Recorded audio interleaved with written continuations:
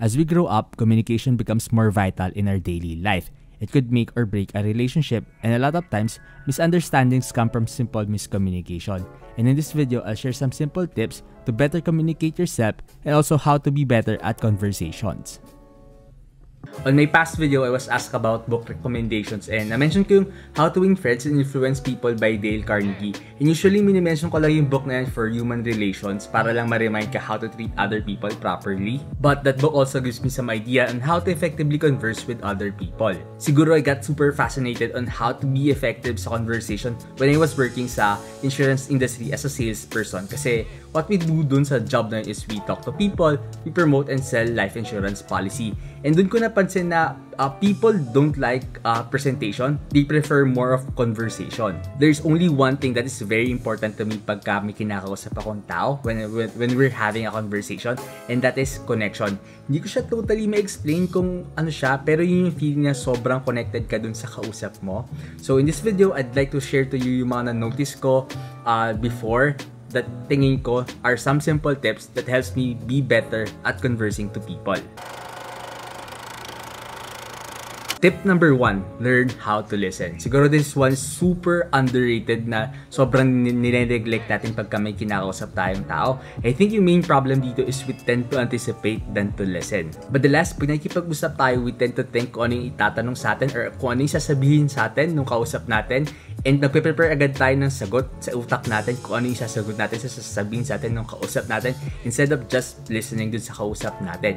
For example, pag tinanong ka ng kamusta, di ba? Pag tinanong ka ng kamusta, iniisip mo agad, ano kaya yung sasagot ko pag tinanong ako ng kamusta dito? Dude, chill lang. Just listen. Wala tayo sa school recitation. Just be in the moment and listen. Instead of anticipating yung question, just respond to the question or interact with the question. Again, be in the moment, be in the conversation, and listen. The more you are in the moment, the clearer mong maririnig yung kausap mo, and the better mo siyang maiintindihan, and the better your conversation will be.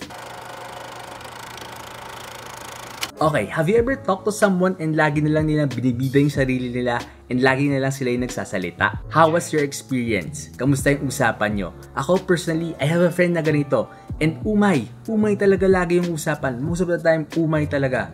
And alam mo yun, uh, hindi pa nagsisimula yung conversation nyo, alam mo na yung kakahinat na nito. So just be conscious and be aware about it. Everybody likes to be heard, so let other people speak and listen. Respond sa mga sinasabi nila and sakyan mo yung flow ng conversation nyo. Siguro the best time for you to talk is when everybody's done talking or kaya naman when the conversation is dying kasi wala na kayo mapag-usapan but always prioritize yung kausap mo to do the talking. Siguro this one takes a lot of experience pero para sa akin, what really helps me be genuinely interested to people is yung mindset na pag kinausap ko tong taong to, there's something new na matututunan ako. I'm just really a fan of learning. And second is yung mindset na I'm just really a fan of story. Alam mo yun, pagka kinausap ko tong taong to, meron naman akong bagong story na maririnig. And I'm just a huge fan of story and storytelling. Now, hindi ito yung mga walang kwentang chika. Ah. For me, if you know the right questions to ask, you'll be hearing the right stories to hear. Lastly, para dito, it really helps if you're really looking for a human connection. Because, kunwari, para sa akin, if we're having a great conversation, for example ako, if I'm sharing a good story ng buhay ko, it's like I'm sharing a part of my life dun sa kausap ko. And yung kausap ko is sharing a part of his or her life sa akin and dahil doon we're bonded through our stories, di ba?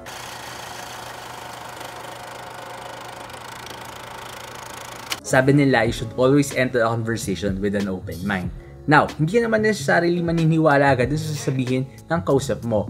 But, pagka may sinabi siya, you should always be open to it and consider kung ano yung sinasabi ng kausap mo. It also helps to be self-aware na hindi ka laging tama and alam mo sa sarili mo na i-admit na mali ka pagka mali ka talaga. I think one of the best example na itong sinasabi ko is when yung um, Recreate gumawa ng video about uh, a Catholic and an atheist having a conversation.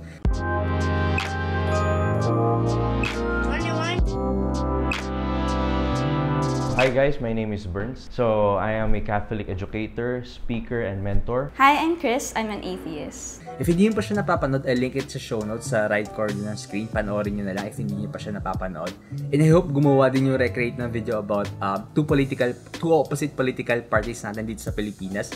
So, yung mga DDS and Dilawan. And, they, and I hope na parang makagawa sila ng video na they are having decent conversation and they're trying to um, look yung opinions nila based on yung other's perspective. Now, I'm not really sure if meron na bang video na ganun or wala pa. But if nakagawa sila ng video, kindly, uh, tapos nyo, kindly share it in the comment section down below yung link ng video na yun. So yun, I hope people would enter a conversation with an open mind and kaya nilang i-drop yung biases nila. And I hope one day we could um, really try to look at yung perspective ng other people para mas magkaintindihan tayo. And I hope one day talaga people could harmoniously have a conversation kahit magkaiba yung opinions nila. So, yun. Lastly, number 5, embrace vulnerability. Para sa akin, this is the secret sauce to a meaningful conversation. Hindi ko alam kung bakit, but this is something na na-observe ko sa lahat ng tao. Pagka kinakausap sila for the very first time, people are very defensive and para silang may mga wall na nakapaligid sa kanila. Sobrang, sobrang tipid nila magsalita or magkwento. But once na nag-share ka ng personal story mo, they tend to share more or open up sa'yo and parang nababreak down ng wall of defense nila. Yung madalas kong kinikwento sa kanila is how I miserably fail a date. If na-intrigue ka dun sa kwentong yon, I'll link it in the show notes. Panoorin nyo na lang if na-intrigue kayo sa kwentong yon. Never be afraid to ask personal questions sa mga kausap mo. If nasa right place, right time ka, most importantly, you are you have the right intentions of asking that uh, personal question. And huwag ka din matakot mag-share ng vulnerable stories mo.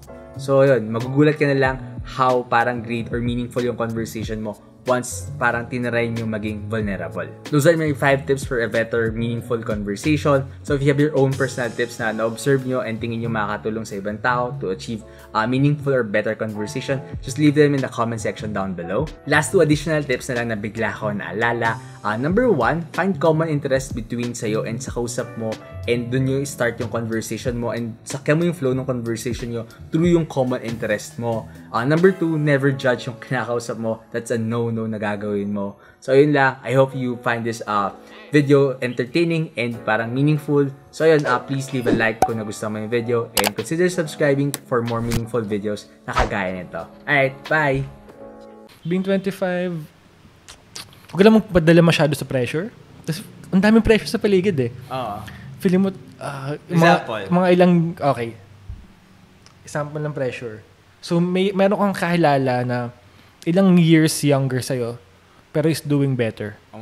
Financially, yun lang naman ang reference natin eh. Hindi natin alam kung ano yung background niya. Oh, yung happiness meter. Hindi mo alam, Hindi diba? mo masabi through social media. Hindi. Pwede, Ang, pero ang pinakamandaling measure is, an- ano yung financial level na to, which is, wow, Ah, a few, a few years younger than me, pero grabe na yung, ah, ano. totoo naman.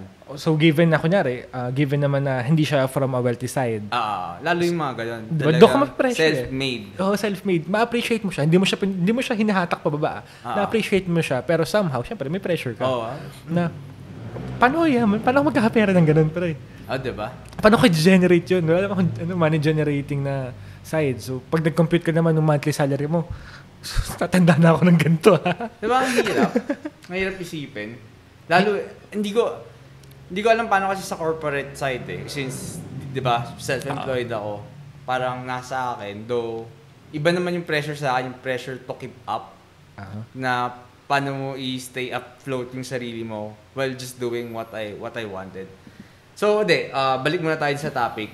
Kasi di ba parang yung sinabi sa atin, ah, buy a car, buy a home, get married. Have kids. Ah, have- have kids. Na, Do not have may kids. ano, parang tingin mo ba, ah, nung bata ka ba, nisip mo by 25, ah meron ka na nung mga ganong material things? Or yung mga, yun, yung mga ideal things na gusto nilang i- i-reach natin? Oo. Akala ko talaga nung bata ako. For the whole copy of the podcast, click here. Uh, also, follow me on Spotify. Doon din yung podcast ko. Link down below. And subscribe dito. Yeah, thanks.